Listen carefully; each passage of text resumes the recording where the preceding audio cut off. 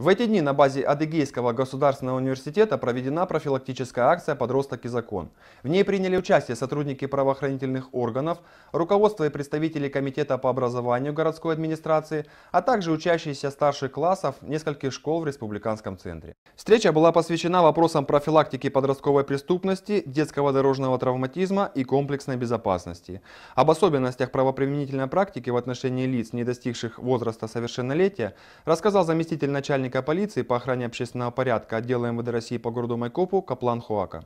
Он отметил, что сотрудниками органов внутренних дел регулярно проводятся встречи как с подростками, так и их родителями. По его словам, очень важно своевременно выявлять ребят, которые могут приступить закон и всеми способами не допускать совершения подростками правонарушений. Для наглядности школьникам были продемонстрированы специально подготовленные видеоролики, показывающие, как может измениться жизнь человека при совершении противоправного деяния.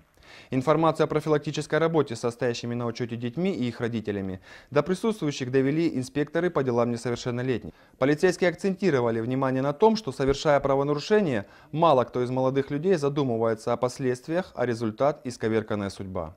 В республиканском центре продолжается практика проведения занятий с профильными полицейскими классами. С начала учебного года школьники побывали в нескольких службах и подразделениях ведомства. Об основных направлениях своей деятельности ребятам рассказали сотрудники миграционной службы, участковые уполномоченные и специалисты-кинологи. А на днях их познакомили с работой пресс-службы. Подробности в материале Вадима Агаркова. Старшеклассники впервые посетили административное здание республиканского МВД и в самом начале до них довели информацию о подразделениях, которые несут здесь службу службу. Затем заместитель начальника отдела информации и общественных связей, подполковник внутренней службы Андрей Бакумов провел для школьников лекционное занятие. Он рассказал об истории создания пресс-службы, ее основных задачах и роли в информационном обеспечении деятельности органов внутренних дел. Определены два основных направления, которым занимается наша служба. Задача состоит в том, чтобы обеспечить информационное сопровождение всей деятельности МВД по Республике Адыгея, всех его служб и подразделений. А взаимодействие с общественностью – это взаимодействие со всем спектром общественных, политических, культурно-религиозных организаций, молодежных организаций, волонтерских организаций. Э, Все это тоже в сфере компетенции нашего подразделения отдела информации и общественных связей. В качестве примера, подтверждающего высокий уровень профессионализма сотрудников отдела, школьникам показали видеосюжеты из телевизионных программ, подготовленных пресс-службой. Продолжилось мероприятие небольшой экскурсии по кабинетам, занимаемым подразделением. В ходе общения сотрудники рассказали ребятам о том, насколько многогранна работа в пресс-службе. В разное время они принимали участие не только в профилактических и иных акциях. Нередко приходилось фиксировать мероприятия, проводимые оперативниками при задержании опасных преступников, и выезжать на место дислокации сводного отряда полиции в Северокавказский регион. Самые смелые из ребят попробовали себя в роли корреспондентов. Они записали комментарии о своих впечатлениях от увиденного. Сегодня было очень интересно. Мы сегодня с классом узнали много нового. Было очень так трогательно вот это видео, которое сегодня нам показывали. По словам школьников, это не совсем обычное занятие дало им возможность понять, насколько ответственно и в то же время интересна работа отдела информации и общественных связей МВД по Республике Адыгея. Вадим Агарков, Андрей Бакумов, Вячеслав Коробков и Денис Вигерчук. Программа «Объектив 02». Сотрудники отдела МВД России по Тахтамукайскому району раскрыли кражу с крупным материальным ущербом. При этом полицейские не только задержали злоумышленника, но и помогли обнаружить похищенное им дорогостоящее оборудование. Его вернули законному владельцу, однако если потерпевший не сделает выводов и вновь оставит станки без охраны, кража может повториться. Это преступление было совершено в октябре текущего года в Тахтамукайском районе. Тогда владелец предприятия сообщил в полицию о том, что неизвестные с территории строительной организации похитили оборудование. По данному факту было возбуждено уголовное дело. К работе по раскрытию кражи подключились наиболее опытные оперативники уголовного розыска районного отдела полиции. В результате им удалось выйти на след подозреваемого. Помогло оперативное чутье и навыки работы по таким уголовным делам. В ходе оперативных мероприятий по розыску похищенного было установлено, что данное оборудование было сдано на пункт приема ООО «Металла», также расположено в поселке Инем. Строительные инструменты были изъяты и возвращены владельцу. Затем был задержан и сам подозреваемый, 28-летний житель поселка НМ. Следователи вернули оборудование законному владельцу, но при этом предостерегли его от безответственного отношения к сохранности имущества. Одной из причин и условий совершения данного преступления – явилось то, что данная территория, на которой находился контейнер, не охранялась, не была огорожена ничем, находились прямо вдоль дороги. Собранные полицейскими доказательства вины подозреваемого легли в основу обвинительного заключения. Уголовное дело направлено для рассмотрения в Тахтамукайский районный суд. Санкция статьи, по которой подозреваемый привлекается к ответственности, предусмотрено максимальное наказание в виде лишения свободы на срок до 10 лет. Сотрудники госавтоинспекции при анализе причин и условий, способствующих происшествиям на дорогах, отмечают несколько факторов. Один из них – недостаточная видимость. Возникает она при плохих погодных условиях и слабой освещенности, но нередко водители сами создают себе дополнительные трудности. Речь идет о нарушениях правил тонировки автомобильных стекол. О том, насколько это опасно и какие меры предпринимаются полицейскими для борьбы с нарушителями – наш следующий материал. Законодательством не запрещено тонировать стекла автомобиля. Однако при проведении этой процедуры важно помнить о соблюдении основного требования. Светопроницаемость пленки должна быть не менее 70%.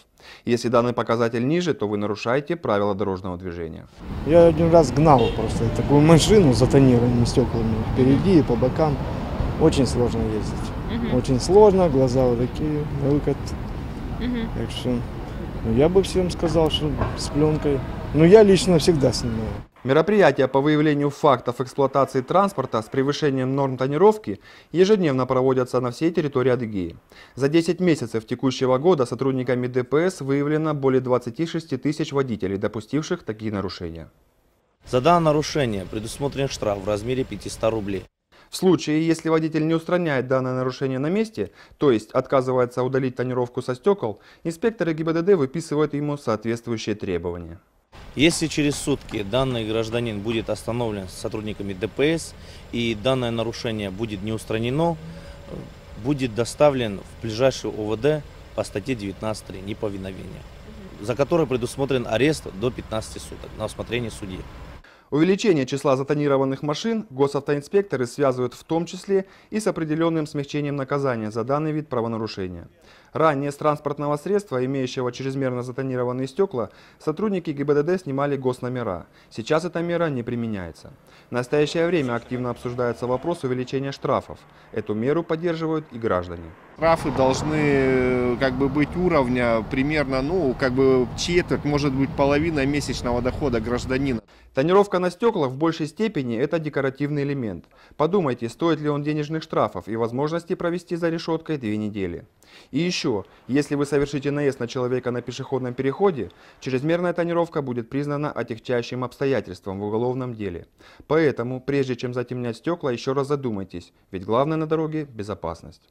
Полиция завершила расследование уголовного дела в отношении обвиняемых в кражах дорогих автомобилей. Фигурантами многоэпизодного уголовного дела, возбужденного в 2016 году, стали двое жителей Майкопа.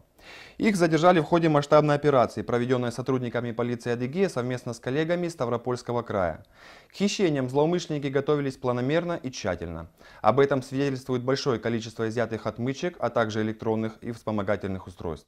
А началось все с того, что в мае текущего года в органы внутренних дел поступило заявление от жителя республиканского центра. Мужчина сообщил, что у него похитили автомобиль Toyota Land Cruiser, и по данному факту было возбуждено уголовное дело. В результате проведения комплекса оперативных и следственных мероприятий полицейским удалось установить место, куда был угнан похищенный внедорожник. Первоначальными мероприятиями автомобиль, который был угнан, э, похищен в городе Майкопе, э, в течение двух-трех суток был обнаружен на, на окраине города Майкопов, так называемом отстойнике. Изучая почерк работы угонщиков, оперативники пришли к выводу, что злоумышленники пользуются профессиональным оборудованием для вскрытия машин и отключения систем безопасности. В ночное время суток, в наиболее подходящее время, когда э, отсутствуют и очевидцы, возможно, очевидцы и свидетели, они с помощью э, сканера, который считывает сигнал для вскрытия запирающих механизмов и запуска двигателя. С использованием такого сканера они э, заводили автомобиль, после чего угоняли. В ходе дальнейшей работы оперативники получили информацию о том, что кражу могли совершить участники преступной группы. Ими оказались жители Майкопа в возрасте 40 и 44 лет. На территории Ставропольского края проведенными мероприятиями точное местонахождение фигурантов было установлено и были задержаны. Общий ущерб от действий злоумышленников составил более 14 миллионов рублей. В настоящее время оперативники и следователи завершили сбор доказательств причастности подозреваемых к инкриминируемым деяниям. Уголовное дело с утвержденным обвинительным заключением направлено в Майкопский городской суд.